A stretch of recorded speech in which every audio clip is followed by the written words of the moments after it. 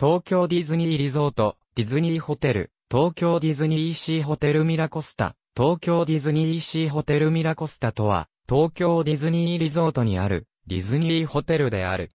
ディズニーホテルとしては、ディズニーアンバサダーホテルに続き2番目に開業した。通称、ミラコスタ。日本初のディズニーパーク一体型ホテルで、東京ディズニーシーの敷地内に立っている。ミラコスタとはイタリア語で、海を眺めることを意味する。そのため、窓から TDS のパーク内が見える客室や、レストランもあり、開園時は、水上エンターテイメントを、閉園後や、早朝の開園前の時間帯は、人がいなくなったパーク内やショーのリハーサルなどを見ることができる。最も高額な客室は、イルマニーフィコスイートで年間を通じ1泊50万円で、ある。これは開業当時から変わっていない。ディズニーアンバサダーホテルの最高級スイート、ミッキーズペントハウススイートは1泊30万円で、あり、20万円の差をつけている。東京ディズニーランドホテルの最高級スイート、ウォルトディズニースイートは、同額の1泊50万円である。客室は、正面のハーバーに面した、ポルトパラディーゾサイド、ベネツィアンゴンドラが通る運河に面した、ベネツィアサイド、東京ディズニーシーのエントランスに面した、トスカーナサイド3つのいずれかに属し、料金もそれに伴って設定されている。一般的に最も眺めの良いとされる、ポルトパラディーゾサイドに、最高級スイートが集中している。ディズニーアンバサダーホテルや、東京ディズニーランドホテルには、大人数の家族が一つの部屋に泊まれる、ファミリールームが備えられているが、ホテルミラコスタには、ファミリールームは一つもなく、二人から三人部屋を基本とし、大人四人での宿泊は、ソファベッド等のエクストラベッドにより定員追加が可能な部屋がいくつかあるのみである。2015年6月8日には、客室の大規模なリニューアルを実施。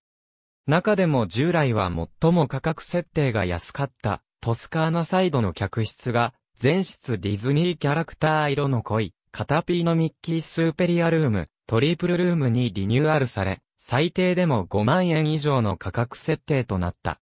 リニューアル以後は、最も廉価な客室でも4万4千円以上となり、ディズニーホテルの中では最も価格設定の高いホテルとなっている。新型コロナウイルス感染症の影響による東京ディズニーランド及び東京ディズニーシー休園に伴い2020年2月29日より営業内容を変更、同年4月1日より休業。同年6月30日15時より運営再開。ホテルパークゲートウェイ TDS とホテルをつなぐ出入り口。基本的に宿泊者向けの出入り口。宿泊者以外も利用可能であるが、開園前やホテル混雑時などは宿泊者専用となる。なお、パークへの入場には宿泊者でもパークチケットが必要になる。また、再入場の際にもサイドチケットとハンドスタンプが必要になる。パーク貸し出しのものは、ホテル内には持ち込めない。東京ディズニーシーステーションミラコスタ専用出口、ディズニーリゾートラインの東京ディズニーシーステーション校舎側プラットフォームに、ミラコスタへの専用出口が設けられており、プラットフォームから直接ミラコスタの連絡通路に行くことができる。テルメベネツやミニリザサンドリー雑貨、菓子、飲み物等を販売していた店舗。レジカウンター後ろの収納棚には、モナリザに扮したミニーマウスの肖像画が飾られていた。客室の全室禁煙化に伴い、喫煙室へ改装されるため、2011年2月をもって閉店。ミッキランジェロギフト土産物販売。ディズニーランド、ディズニーシーの一部商品を扱うほか、ミラコスタオリジナルグッズの取り扱いもある。ミニリザサンドリーの閉店に伴い雑貨、菓子等の取り扱いが始まった。